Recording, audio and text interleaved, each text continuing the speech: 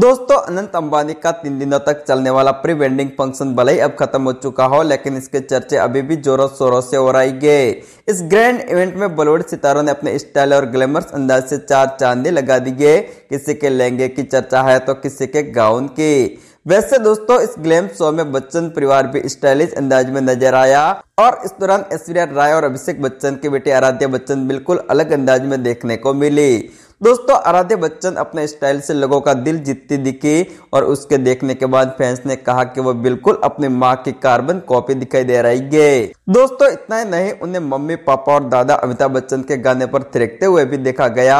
सामने आए वीडियो में आप सुन सकते हैं कि बैकग्राउंड में ऐश्वर्या राय, अभिषेक बच्चन और अमिताभ बच्चन स्टार गाना कजरारे कजराजे बज रहा है और ऐश्वर्या राय, अभिषेक बच्चन और आराध्या बच्चन तीनों एक साथ बैठे दिखाई दे रही है। दोस्तों, गाना बजने पर तीनों ही एक्साइटेड दिखे।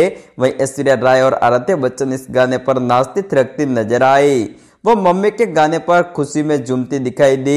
ऐश्वर्या भी बेटी आराध्या के साथ ताल से ताल मिलाती नज़र आई। माँ बेटे को पापा अभिषेक के बाद में ज्वाइन करती दिखाई दी। दोस्तों, इस मेगा इवेंट में ऐश्वर्या राय ने गोल्डन क्रीम कलर का लहंगा कैरी किया था। वही बेटी आराध्य ने बेबी पिंक कलर का हैवी अनारकली पहना था।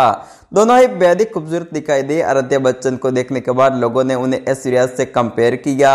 कई लोगों का कहना है कि वो बिल्कुल अपनी माँ जैसी नज़र आ रही है।